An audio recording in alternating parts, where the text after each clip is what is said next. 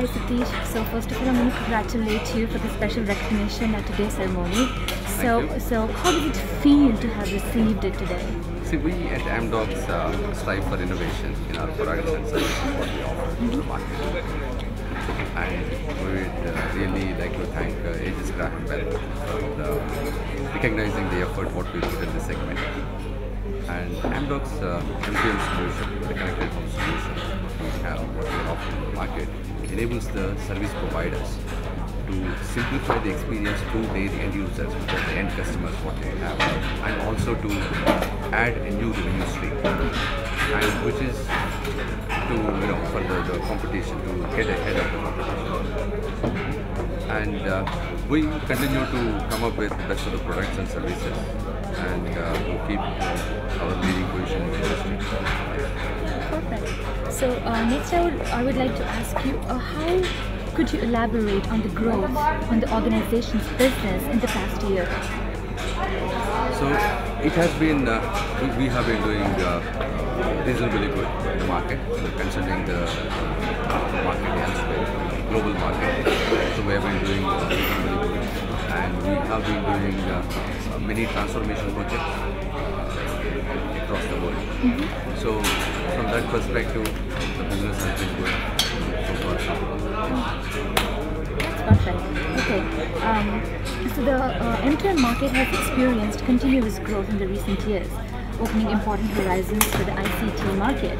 Which do you think are the advantages and the opportunities that the M2M market may offer in the telecom sector? There, there are uh, you know tremendous opportunities which are available in the market at this point in time. If you look at uh, uh, you know globally, like uh, from North America, for example, we were talking to AT&T and we were looking at the numbers what they had uh, for five quarters. So the, the net addition to the subscribers they added 1.2 million postpaid subs during that period for five quarters, and during the same period they have added about 2.6 million devices, which are like iPads and so all these devices. So this talks about the tremendous growth in the market. And if we look at Amazon, Amazon is selling more Kindle books than print books. So this is also talks about enormous potential the market for the service providers.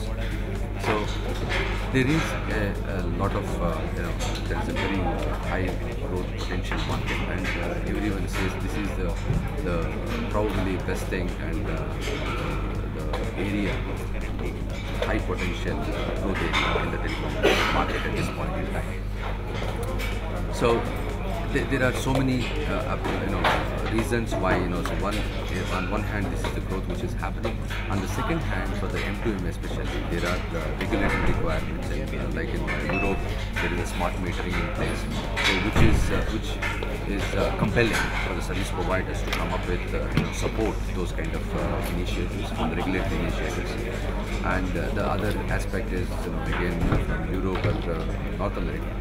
So wellness monitoring for the elderly people. So you know, monitoring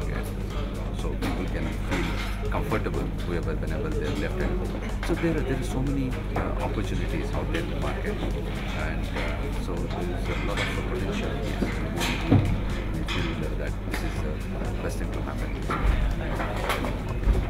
Perfect. I just have a couple more questions. okay. Uh, what do you think are the key growth drivers for the M2M market in India? So in India, if we look at uh, the net growth of the subscribers is not very encouraging for the past two months, and uh, this is true with uh, you know almost all the service providers, and everyone is looking for a killer app. So which is like their CRBT, which is there because it had an era, few years, you know, really uh, enjoyed uh, doing that uh, CRBT business. So now people are looking for a killer app, and I think one needs to find a right balance to come up with uh, some data service which is you know related to the machine to machine or some data service which is going to help them to find a new stream of revenue. So this is what we feel is, is, is what is needed to be done. Okay. Just, just a wrap up question. What are the other things Amdocs is doing these days? See, Amdocs, we, at Amdocs, we are covering the entire spectrum of uh, the needs which are required by the service providers, the OSS, and the BSS, the CRM. So all these what we, we cover. And recently we have also launched uh, some other solutions along with M2M and connected phones, like the Amdocs mobile payments, which is like uh, you know, so enabling. So everyone these days has uh, the Android phones, and whenever they are trying to buy an app from the Android, so they have to key in their uh, credit card numbers. And some of the geographies people may not feel comfortable to key in their uh, you know, credit card numbers. So there we are providing a solution, and we are also providing a uh, opportunity for service providers so that they will be able to come up with a mechanism whenever the, the end customer is trying to buy an app, they can get it billed into their monthly statement. So through which the two things happen. One, the revenue, this is an additional revenue which is coming to the, which is which will be passing to the service provider. And second, it is also the like, commission which they will be getting from the, all these app stores, be it Google, uh, Android Play, uh, any other uh, service, service uh, app stores which will be coming on. So this is an additional uh, revenue stream which we, we are providing, we are enabling the service provider. So, so these are the kind of solutions which we. Perfect, perfect. Thank you Thank so you much for your time.